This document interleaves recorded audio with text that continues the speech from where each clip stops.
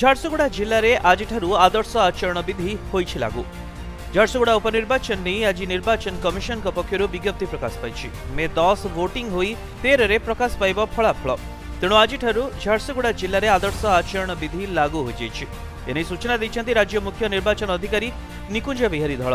CEO କହିଛନ୍ତି ନିର୍ବାଚନ କମିଶନଙ୍କ ପକ୍ଷରୁ ଆଜି ଝାରସୁଗୁଡ଼ା ଉପନିର୍ବାଚନ ନେଇ ପ୍ରେସ୍ ରିଲିଜ୍ ଜାରି ହୋଇଛି ଆସନ୍ତା ଏପ୍ରିଲ ତେର ତାରିଖରେ ପ୍ରକାଶ ପାଇବ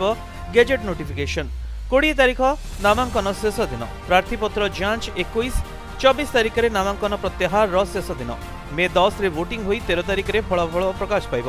মে পনের সুদ্ধা সমস্ত নির্বাচন প্রক্রিয়া শেষ করা লাগি বিজ্ঞপ্তি প্রকাশ পাইছে ঝারসুগুড়ে মোট দুই লক্ষ একুশ হাজার সতুরি জন ভোটর থাকবে পুরুষ ভোটর এক লক্ষ দশ হাজার তিনশো কোড়িয়ে এবং মহিলা ভোটর এক লক্ষ দশ হাজার ছশো সতাশি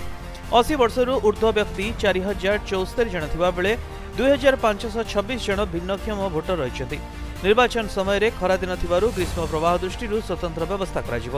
ନିର୍ବାଚନ ପାଇଁ ଇଭିଏମ୍ ମହଜୁଦ ରହିଛି ରାଜ୍ୟରେ କୋଭିଡ୍କୁ ଦୃଷ୍ଟିରେ ରଖି ସ୍ୱାସ୍ଥ୍ୟ ବିଭାଗର ସାହାଯ୍ୟ ନିଆଯିବ ଝାରସୁଗୁଡ଼ା ଆସେମ୍ବ୍ଲି କନଷ୍ଟିଚ୍ୟୁଏନ୍ସି ପାଇଁ ବାଇ ଇଲେକ୍ସନ୍ ଡିକ୍ଲେୟାର କରିଛନ୍ତି ସେଥିପାଇଁ ତେର ଏପ୍ରିଲରେ ଗେଜେଟ୍ ନୋଟିଫିକେସନ୍ ଇସ୍ୟୁ ହେବ ଆଉ ଲାଷ୍ଟ ଡେଟ୍ ଅଫ୍ ନୋମିନେସନ୍ ହେଉଛି କୋଡ଼ିଏ ଏପ୍ରିଲ ଆଉ ରିଟର୍ଣ୍ଣିଂ ଅଫିସର ଯେଉଁ ନୋମିନେସନ୍ ସବୁ ରିସିଭ୍ ହେଇଥିବ ତା'ର ସ୍କ୍ରୁଟିନି କରିବେ ତା'ର ନେକ୍ସଟ ଦିନ ଏକୋଇଶ ଏପ୍ରିଲ ଏବଂ କ୍ୟାଣ୍ଡିଡେଟ୍ ମାନେ ତାପରେ ଚବିଶ ତାରିଖ ପର୍ଯ୍ୟନ୍ତ ତାଙ୍କର